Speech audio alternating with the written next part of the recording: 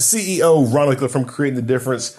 Please, if you haven't read the blog that kind of goes into detail of what we did for this test, spend a few minutes and go through that blog and just kind of see what we did and then watch this video and learn a lot more details about the process that we went through uh, to be able to show you the reaction difference. We learned a whole lot from doing this test, hard purple hammer versus soft purple hammer. Uh, we learned a lot about what the advantages are of having a softer purple hammer. And remember, this bowling ball that we're showing you is not USBC legal um, and is not USBC approved because we have chemically altered the hardness of the bowling ball, and that is not allowed. CEO Ronald Hickland from Creating the Difference. I have a very special guest here with me today. His name is David Henson. David Henson worked at Ebonite International for more than 50 years. He was responsible for a lot of things at Ebonite International, but the thing that we're most interested in here today is his ability to check bowling balls for hardness. He also did all kinds of quality checks while he was there, but we specifically asked him to come in and check some bowling balls for us as we wanted to kind of find out and learn more about hardness and leverage the power of his information regarding hardness, roundness, and anything else related to the quality specs of bowling balls. David, thank you for joining us here. I'm excited to be able to find out some information about hardness and just some of the history that uh, you're going to be able to bring to us, knowing that you've been through uh, rubber bowling balls, urethane bowling balls, polyester bowling balls, reactive bowling balls, and now it's kind of funny, uh, we're actually going back and checking a lot of bowling balls, but the ones that are kind of interesting in the bowling community right now are the urethane bowling balls, which used to be popular in the 80s and now have kind of come back. So thank you for coming. And with that being said, we're going to get right to it.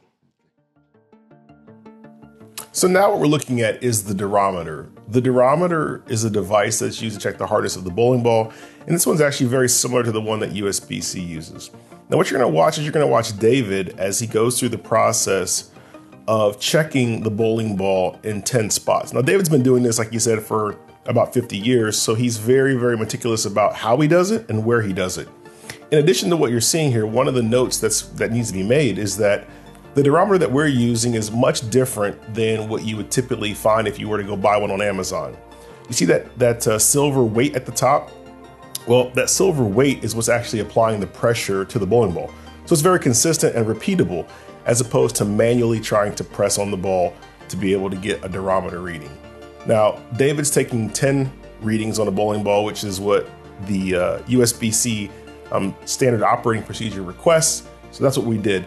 And we wanted him just to do a bunch of different bowling balls and just kind of see the variation um, that we were going to have uh, in the bowling balls and in the specs. Now, like I said, we made sure the bowling balls, in addition to that, were at um, within the USBC a temperature range too that ranges between 70 and 77 degrees. So we wanted to make sure each of the bowling balls was uh, there as well, so that we didn't have, you know, we could eliminate as much variation as possible. Now, is this is this exactly uh, the same environment that USBC uses? No, USBC is in Texas and we're in Tennessee, but it's as close as we could get. So we thought it was important to be able to show you guys some of what we were doing to be able to uh, collect as much data as possible and do it in a manner um, that was, you know, replicative of what USBC does, um, and then use somebody who is completely removed from the situation to be able to actually check the balls. And you can see, not only did we check um, bowling balls that were drilled, but we checked bowling balls that were undrilled as well. With the whole point here being to try to get um, as much data as humanly possible to be able to produce some good, repeatable results. We also did a ramp test as you can see here. Now what we're doing here is kind of unique. If you look on the lane, you can see that piece of paper and that piece of paper is actually a, a basically a carbon sheet of paper that allows us to measure the footprint um, of the bowling ball. So what we're doing here is we've got a bowling ball uh, on a ramp from a set height and really what we're trying to capture here is the footprint of that bowling ball.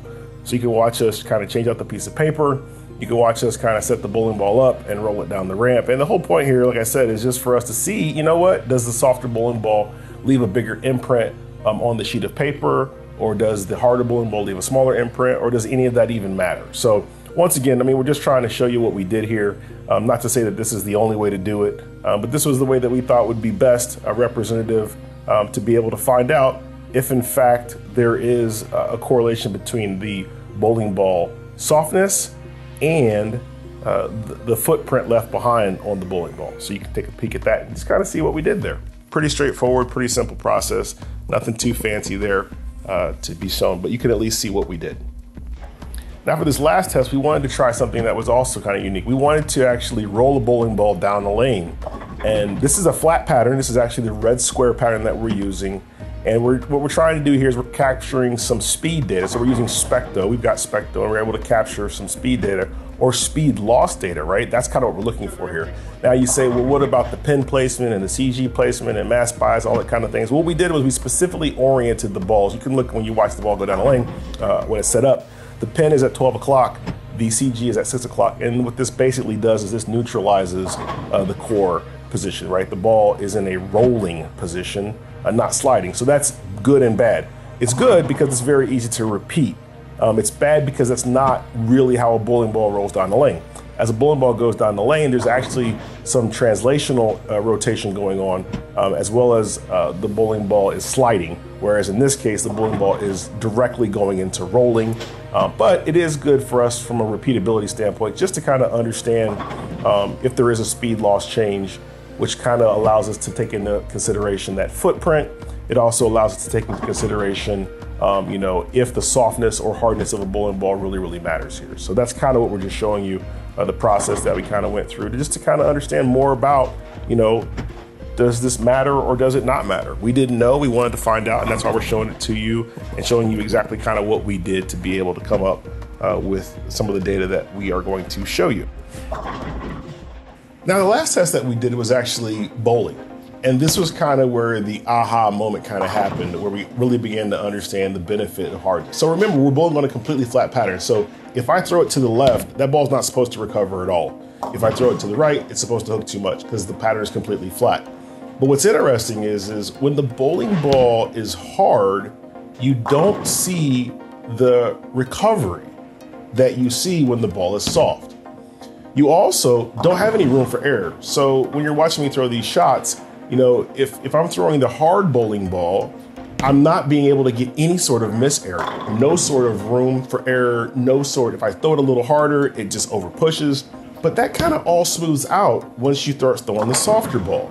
And that is kind of what led us to begin to understand the value of the softer ball. So look at it this way. The pattern is a flat pattern and it's cliff, meaning there's oil to a certain spot and then it shuts off and that's the end of it. But what happens is when you're throwing your ball down the lane on that kind of pattern, if you're throwing the ball and you throw it a little harder, it's gonna over push and that's just what happens. But if you have a softer bowling ball, the beautiful thing about that is you can actually watch the ball slow down. And our data would indicate that the softer bowling balls do slow down. In fact, it was a mile an hour slower uh, typically than from the harder bowling ball. Well, that slowing down allows the bowling ball to begin to generate friction a little bit earlier. If it generates friction a little bit earlier, you're going to be able to get more potential control out of the pattern. So everybody kind of focuses on the hook and they say, well, man, you know, the softer ball hooks more. But the truth of the matter is we could get reactive balls that can hook just as much as the purple hammer that's soft. But it's how it hooks that matters. So with the urethane ball being soft, as that ball is going down the lane, it is slowing down faster than typical. And, it's, and because it's slowing down faster and it's softer with that wider footprint, it can actually begin to generate friction earlier, which makes the pattern play like it's tapered. It's not tapered, but it plays like it's tapered. And you say, well, why does that matter? Well, on a house shot, the lane pattern tends to be tapered, meaning that there's more oil in the front. And as you go down the lane, there begins to, the, the volume of the oil begins to get less and less and less, and that's tapering the pattern. What that does is that creates miss room for when you, the bowler. It allows you to be able to miss and still be able to get back to the pocket. Well, on a PBA pattern, on a sport pattern, on a flat pattern, you don't have that. And that's why that's one reason that they're so much harder. But as you're watching me throw these shots, you can see I can miss and the ball recovers. That's because we are taking a pattern that is flat and making it play like it's not flat. And that is very, very advantageous. Now, some of the other differences are, you know, uh, my rev rate is only 350 RPMs. Most pros are 500 RPMs or higher. So they're going to be able to get this effect out of bowling balls that are harder than the 64.9 durometer bowling ball that I threw. So it would make sense that a pro bowling on a flat pattern would be able to see more of this this tapering effect from the bowling ball and be able to take advantage of it, right? So that makes a lot of sense as well. And then you add into the fact that bowling balls, specifically the Purple Hammer, we've got a lot of data that shows that that ball actually gets softer. That ball is approaching this 64.9. So imagine what happens if you got a Purple Hammer and it was 73 or 72 to start, but then as you're using it, it goes down to 65 or 64 or even lower. Well, that means this bowling ball is actually getting better over time, right? And that's the beautiful thing about this particular product is that it actually gets better over time. Now, I believe that that's probably part of the reason why it's been so popular and so generally accepted as a unique piece in the market, especially at the professional level. I also think that at the amateur level, and people that like myself that bowl mostly house shots, there isn't an advantage like that because the taper's already built into the pattern. So you look at this house shot graph here, you can see there's already a taper built into the pattern. So you don't need to have the extra taper from the soft purple hammer to be able to take advantage of it. And as a matter of fact, a reactive ball will be better for you on this pattern because you'll be able to take care, you'll be able to take advantage of the side to side friction that's already built into the pattern as well. That's not on a PBA sport or a flat pattern. So that's why a lot of times the league bowler does not need to be able to get a bowling ball uh, like a purple hammer to, to be able to score well. They can do just fine with the Tanner reactive ball, but that's also why the pros who are at higher rev rate, they're bowling on flatter patterns, they can take advantage of this uh, unique situation with the Purple Hammer.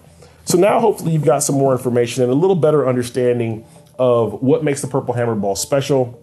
You know, like I said in the blog, you know, USBC and the PBA are making changes to the rules as they get information. I think the changes that they are making are for the betterment of the sport. They're trying to keep the integrity of the sport um, in the game and I think you're going to see more changes um, as this thing, as the situation continues to evolve because they're getting more information.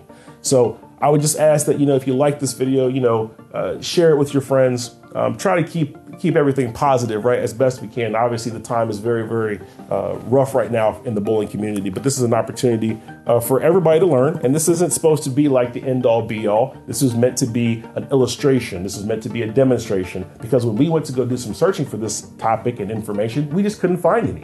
So we're like, well, why don't we spend some money and create some information? And then why don't we just share it with everybody?